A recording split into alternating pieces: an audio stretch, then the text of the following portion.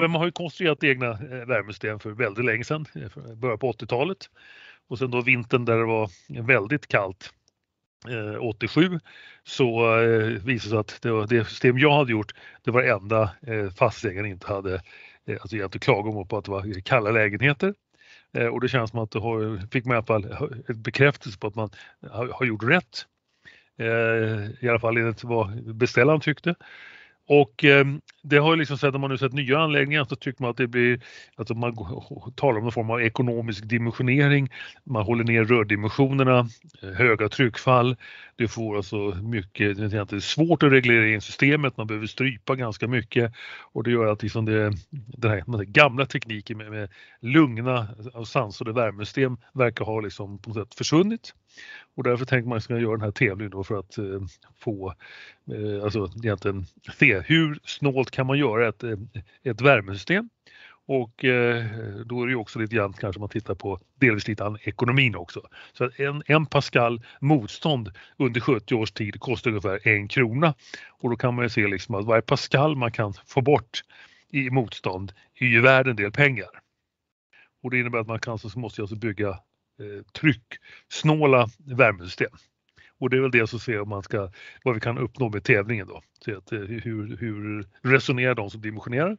Och eh, det vore intressant då den som vinner kanske blir någon form av system då man ska jobba vidare med då för att få ja, lugnt och harmoniskt och bra värme. Ja. Vilka är det som ska delta? Ja, alla som, som är vana, eller så vana, eller alla som konstruerar värmesystem. Eh, kan ju vara med. Eh, så och, både installatörer och konsulter? Alltså. Absolut. Så det finns även andra mm. som kan vara med som, som mm. i alla fall kan där så att man liksom, det är inte så att det är inriktat mot speciell grupp utan liksom, här ska vi få fram man säger, det moderna bästa värmesystemet och eh, det är öppet för alla. Just det. Och, och eh, nu, vad, vad, är det för den här eh, du vill ju, det låter lite på dig som du vill tillbaka till det gamla.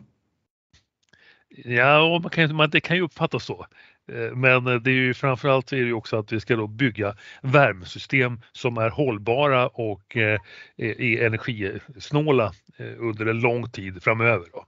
När man konstruerar systemet så är det ju, då har man ju chans att göra det bra och då tycker jag den chansen ska man ta. Mm. Och eh, priset, eller ja, vinnaren kommer att eh, att eh, ja, firas premieras. Ja, på Nordbygd. Premier, ja, precis. Och eh, det ska delas ut pris på Nordbygd den 28 april. Ja. Och vad är det för jury som vi har nu då? Ja, juryn ska bestå av folk som jobbar med värmesystem, alltså inreglering, eh, de som även så skapar tryckuppsättningen, pumptillverkare. Eh, så att det är alltså de som har alltså eh, mycket kunskap om värmesystem, bra och sämre funktioner och det är det som de som kommer liksom att avgöra vem som då vill det bästa värmesystemet. Ja. Ja, Ja, det var, det var allt jag hade ja. att fråga faktiskt. Ja, bra. Ja, ja. Så, tack så mycket. Ja.